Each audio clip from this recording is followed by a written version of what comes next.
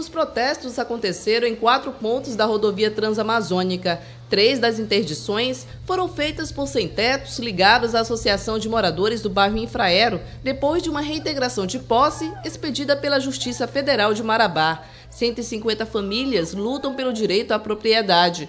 Ela é tida como área de segurança de aviação. Na Vila São José, a 8 quilômetros do centro urbano da cidade, outro grupo de aproximadamente 50 famílias também fechou a rodovia pelo mesmo motivo. Os sem-teto tentaram ocupar essa chácara à beira da rodovia, mas foram impedidos pelo dono que apresentou documentação.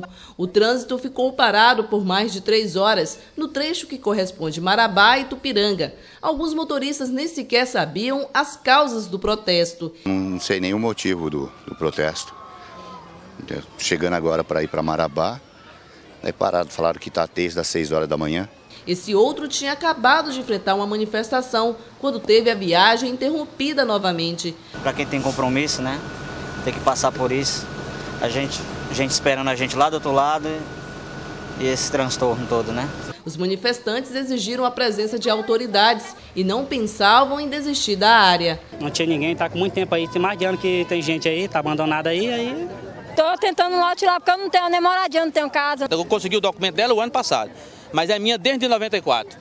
Todos os vizinhos aqui é ciente disso. São um dos mais velhos daqui da região. A Polícia Rodoviária Federal intermediou as negociações entre as partes e conseguiu a liberação parcial da pista. A primeira lá já começamos a estar tá liberando o fluxo parcialmente também e agora viemos para essa daqui. Entendeu? A princípio aqui a gente vai conseguir também parcialmente até que consiga liberar totalmente.